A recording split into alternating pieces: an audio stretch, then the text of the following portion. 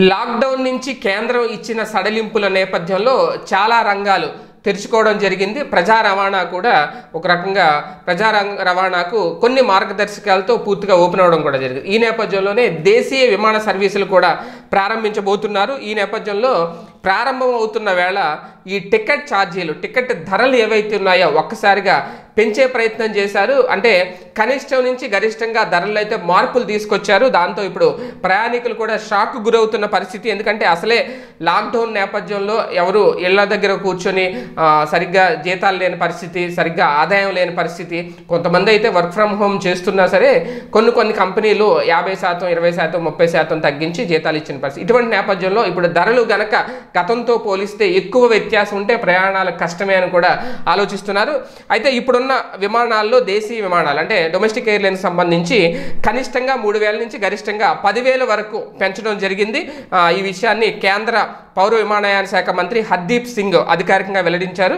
ఇప్పుడు రేపు సోమవారం నుంచి విమాన సర్వీసులు ప్రారంభం కాబోతున్నాయి. అంటే మూడో వంతు మాత్రమే. ఎయిర్పోర్ట్లో ఎయిర్ సంస్థలకు సంబంధించి ఒక మూడో వంతు ప్రయాణాలు మాత్రమే. పూర్తిగా అయితే రాకపోకలు మొదలు మొదలు పెట్టట్లేదు కానీ మూడో వంతు కార్యకలాపాలు తిరిగి ప్రారంభించడానికి అయితే ప్రభుత్వం అనుమతించింది. ప్రయాణికులకు ఎటువంటి ఆహారం అయితే మాత్రం విమానంలో సరఫరా చేయరు.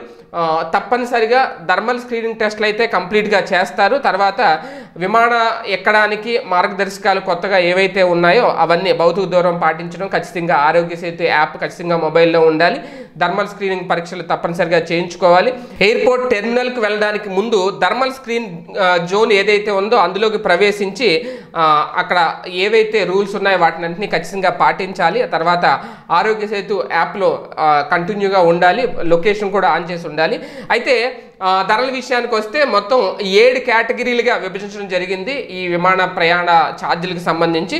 అంటే ముప్పై నిమిషాల లోపు ప్రయాణం అలాగే ముప్పై నుంచి అరవై నిమిషాలు అరవై నుంచి తొంభై నిమిషాలు ప్రయాణం తొంభై నుంచి నూట ఇరవై నిమిషాలు ప్రయాణం అలాగే నూట ఇరవై నిమిషాల నుంచి నూట యాభై నిమిషాలు నూట యాభై నుంచి నూట ఎనభై అలాగే నూట ఎనభై నిమిషాల నుంచి రెండు వందల పది నిమిషాలు ఇట్లా మొత్తం.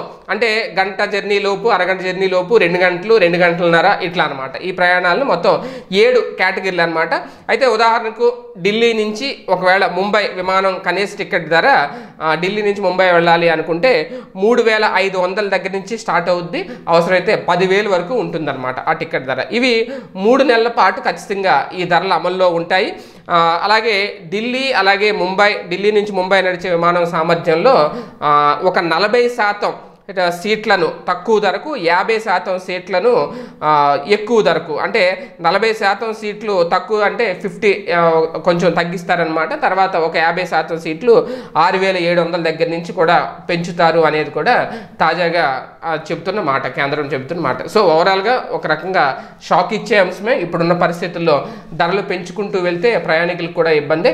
కానీ ప్రయాణాలు తప్పవు కాబట్టి ధరలు పెరిగినా పెద్దగా ఇబ్బందిగా ఫీల్ అవుతారా లేదా ప్రజలు ఏంటనేది చూడాలి. ఈ వీడియో గనుక మీకు నచ్చినట్లయితే లైక్ చేయండి షేర్ చేయండి. మరిన్ని వీడియోస్ కోసం మా ఛానల్ను సబ్స్క్రైబ్ చేయండి.